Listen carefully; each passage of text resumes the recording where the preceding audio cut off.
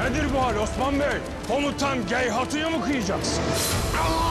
İvaz Bey'in akıbeti de Umur Bey gibi olacak. Ah! Devletçiğin veziri Alem Şah'a mı vuracaksın?